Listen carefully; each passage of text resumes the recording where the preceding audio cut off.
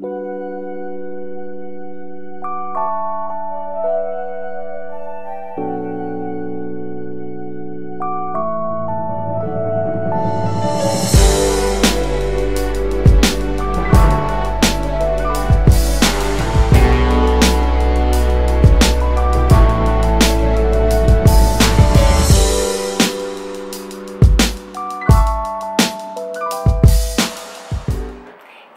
добрый день, меня зовут Олеся. И сегодня у меня есть для вас очень классный рецепт чебуреков. Сразу скажу, что он не классический, то есть э, это не то тесто, где мука, вода и соль, нет. Мне почему-то он не очень нравится, особенно если чебуреки полежат из такого теста классического. Это же тесто будет заварное, но заварное не в полной мере, завариваться будет лишь часть муки. И таким образом тесто будет сочетать в себе свойства обычного и заварного, скажем так. В общем, тесто очень классное получается. Раскатать такое тесто можно без проблем тонко-тонко, буквально до одного миллиметра. И оно не будет рваться при жарке. Чебуреки получатся хрустящие, пузырящиеся, очень-очень тоненькие и вкусные, конечно же. Поэтому, кого заинтересовал мой рецепт, давайте начнем готовить. И берем 175 миллилитров воды. Ковшик какой-то, потому что будем это сейчас все нагревать. Одну такую хорошую чайную ложку соли. И 3 столовые ложки растительного масла. Ставим это на плиту и нагреваем до кипения. 530 грамм просеянной муки это три вот такие вот мерные чашки. Одну из них забираем отсюда. Я просто сюда все вместе просеяла через сито. И одну мерную чашку забираем в, отдельное, в отдельную емкость. Ее будем сейчас заваривать. Секрет этих удачных чебуреков, именно этого рецепта, что здесь не просто заварное тесто, а заваривается лишь какая-то часть муки. Это дает э, тесту мягкость, эластичность, но вместе с тем оно не будет такое совсем мягкое. Кто делал заварное тесто на пельмени, знает, что оно намного мягче, чем обычное тесто на холодной воде. В общем, заваривание части муки делает, вот сочетает в себе идеальный вариант не, не, не плотное тесто и не совсем мягкое, а заваривание вот таким вот образом воды, соли с маслом делает пузырчатыми чебуреки. И еще нам потребуется одно яйцо. Все, больше никаких ингредиентов нам не нужно. Ну, начинку, естественно, сейчас будем отдельно готовить. Все, у меня вскипела вода. Заливаем муку и хорошо ее размешиваем чтобы не осталось никаких комочков. Перемешиваем и остужаем немножечко до теплого, чтобы не было такого горячее, чтобы яйцо не сварилось. Пусть немножечко остынет. Берем ту муку, я ее разделила на две части. Это та же самая мука, ничего не добавляла. Те, те же самые три стакана. Просто разделила, чтобы не переборщить всегда делаю на глаз, поэтому вот сейчас вместе с вами все измеряю, чтобы написать вам, сказать точный рецепт.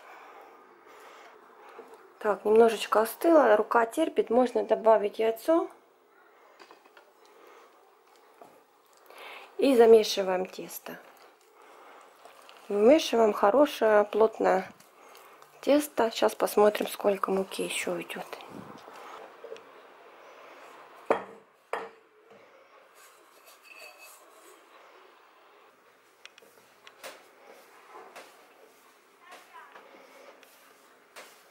Выкладываем тесто на рабочую поверхность, немножко подсыпаем мукой по потребности и начинаем замешивать.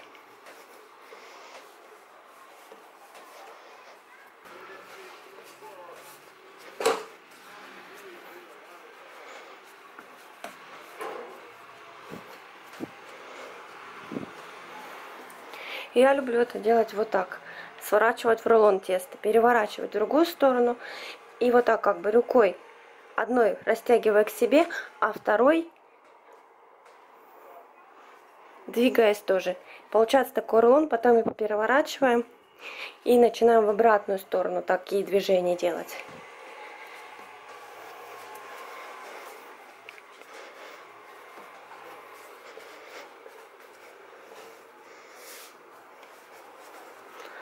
Добавляем еще муки, тесто должно быть крутое.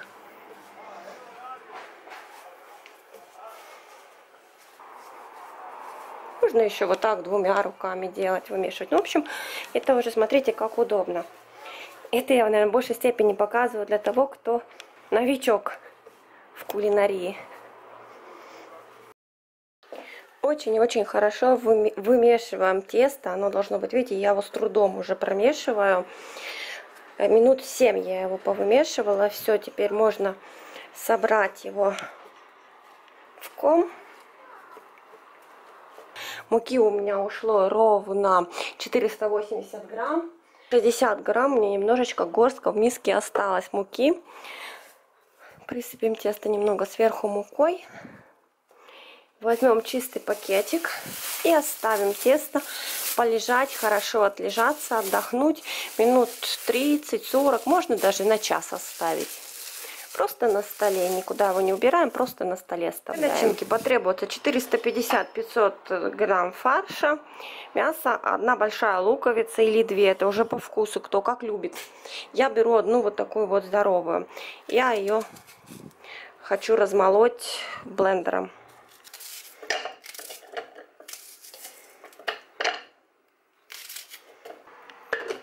Вот, лук я перемолола. Не сильно мелко, но и не сильно крупно. Чтобы он все-таки немножко ощущался. Естественно, нужно посолить. Где-то, может быть, пол чайной ложки соли. Черного перца. Щепотку. И холодной ледяной воды. Одну третью мерной чашки, либо чуть меньше. Налью пока половину, сейчас перемешаю, посмотрю, чтобы совсем жидко не получилось. Можно, можно всю влить. Так, хорошо, рукой тоже лучше размешать. Лук и вода дают сочность. Чебурек будет очень сочный внутри. Вот и все, фарш готов. Сейчас тесто отлежится и можно будет жарить. Тесто полежало, у меня один час ровно. Теперь берем его и делим на кусочки, примерно по грамм 40-50. Сейчас посмотрим. Все, не надо сразу доставать, чтобы оно не заветрилось. А берем, ну вот, половинку возьмем пока. И тесто достаточно плотное такое. Остальную половину вернем в пакетик.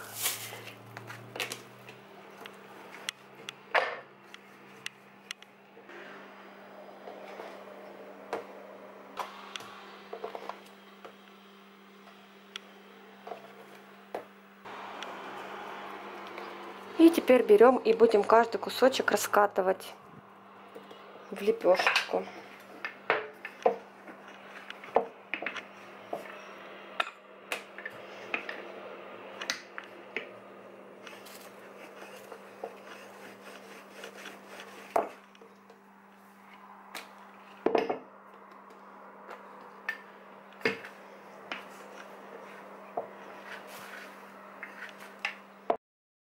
Очень тонко, один миллиметр примерно. Видите, у меня стол просвечивается. И выкладываем на одну сторону примерно по одной столовой ложке фарша.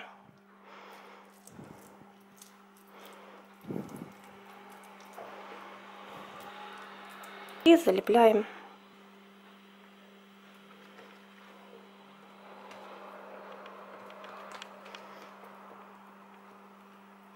Можно, чтобы это было прям вот выглядело совсем ровно и красиво. Можно брать вот так тарелочку и отрезать по тарелочке лишние кусочки теста. Ну, это если хотите вот совсем-совсем, чтобы все идеально было. Видите, тогда они получаются ровные. Хорошо залепляем края. Вилочку еще вот так Фиксируем хорошо краешки. Масло можно поставить разогреваться уже. Все, один у нас готов. Готов. Такой вот чебурек размером, ну, с ладошку с мою. Я приготовила вот сюда поднос, потому что не буду успевать я их лепить, поэтому слеплю штуки 4, а потом начну уже жарить. И следующий раскатываем также тоненько.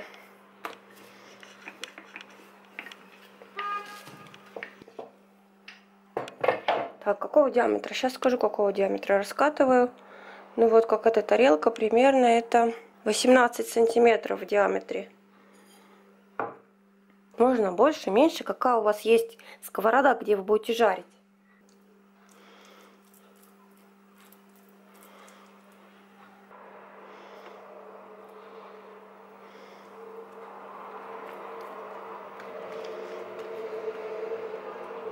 Закрепляем край хорошо.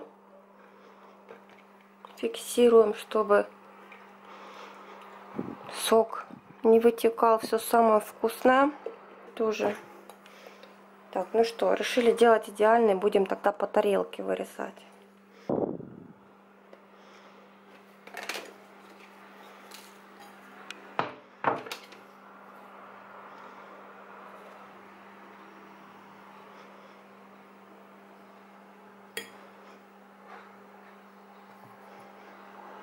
Тоненький. Тесто такое классное, он очень-очень тоненький получается.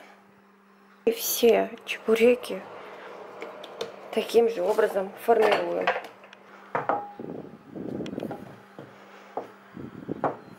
Масло проверяем. Вот кинула кусочек теста. Зашипело, можно жарить.